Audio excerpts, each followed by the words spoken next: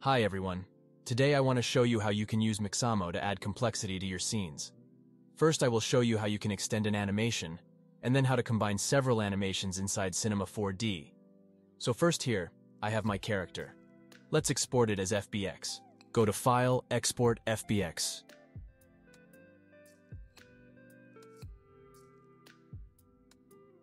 Choose the 2012 format which is more compatible with Mixamo. You can also check selection only if you want our selecting object only, but here we just have our astronaut in the scene so we don't need to check this.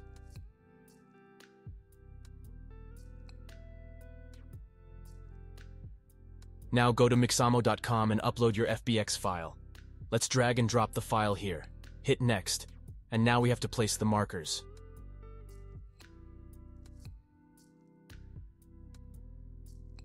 Once it's done, hit Next. And now Mixamo is going to rig our character automatically.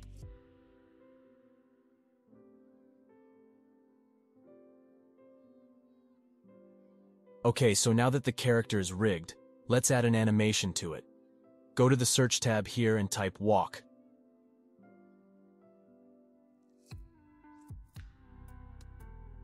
Choose this one.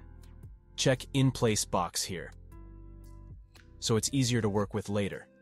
Download the animation and be careful with the frames you're using here. It all depends on the project you're working with.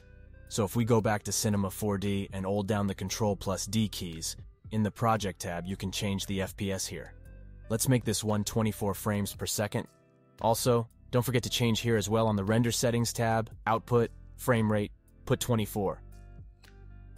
Let's merge the file we just downloaded by holding down Shift and drag it onto our scene.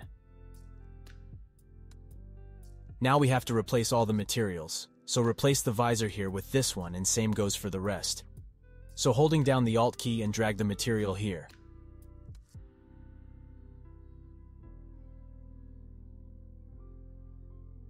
Now we can delete the original character. So now if I click play here, you can see that the animation is playing. The only issue here is that he only does one loop of his walk cycle. Let's group the mesh and the rig by holding the Alt key plus G. If I middle click this group, go to the timeline. Mine is here, but you can find it here under Window Timeline. Click on the Key tab here and select Cycle. And just put 20 for example. Extend the timeline here. So now we've looped the animation.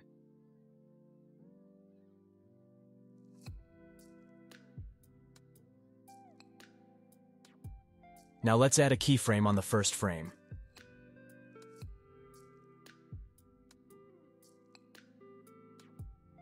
Go further. Move the astronaut forward and add another keyframe.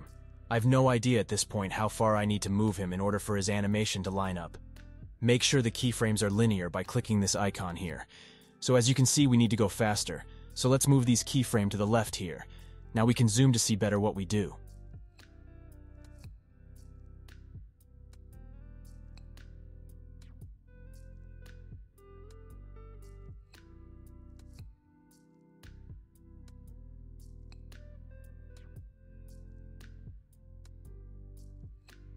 Okay, now we have something that I like.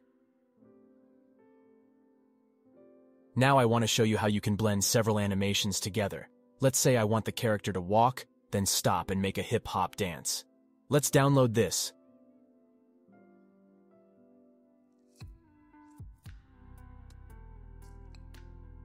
Then I will type stop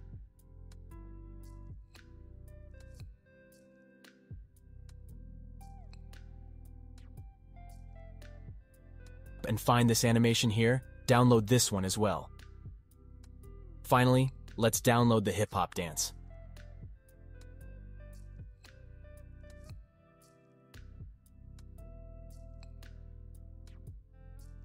Start fresh with a new project. First, we need to make sure that our project is in 24 FPS. So hold down Ctrl plus D and in the project settings change the FPS to 24. Do the same here on the render settings, frame rate. Now grab all the animation, hold down shift and drag them on our scene here. Let me add the textures.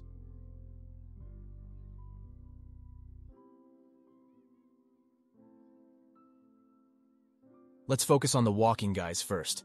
So I'm going to name everything and only show the walking animation. So if I select the walk here and go to Animate tab, and choose Add Motion Clip, click OK. So now we don't have keyframe anymore for this walk animation, but the guy is still moving thanks to this tag here. Click on Open in Timeline here, and now we can see our clip.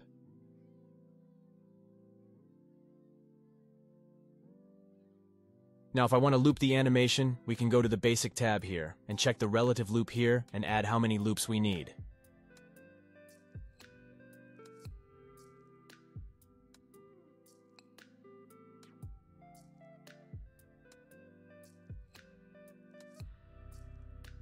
Alright, perfect.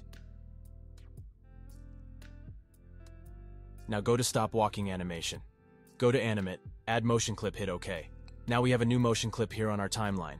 We can hide our character here, and since it's in a clip, it will reappear once we add the clip to the timeline. So let's add it to the clip here.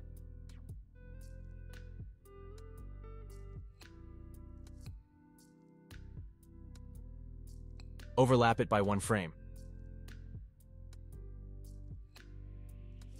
If I go between the two animations, it's going to jump back to the beginning.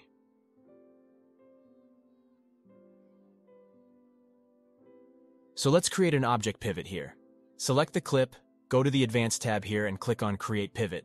Now hit the W key to be in World Coordinate mode, and move the pivot forward till the end of the walk animation.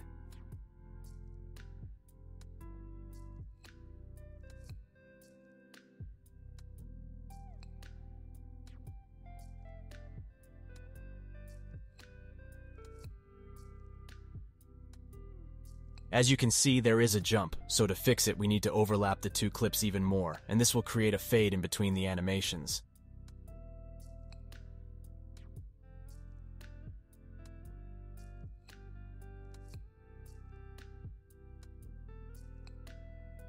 Now we have a speed issue, so we need to overlap more.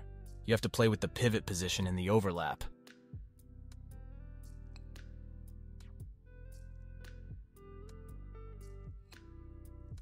It's not perfect, so we have to cut a bit of the animation by right-clicking.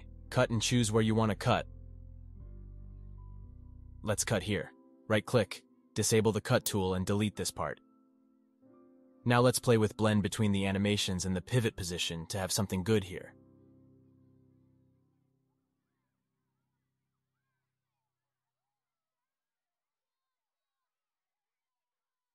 So it's not perfect, but you can spend some more time to have a better cut than mine. Now let's add the last animation. This one will be easier, since our character is stopped already. Select the animation, go to Animate, add motion clip, hit OK, add the clip to the timeline, create a pivot,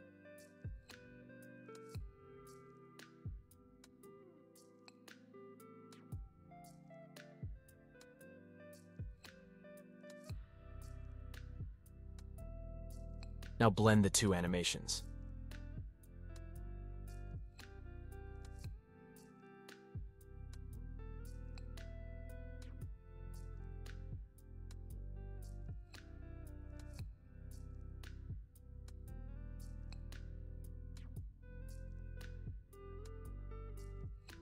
Thank you for watching my video.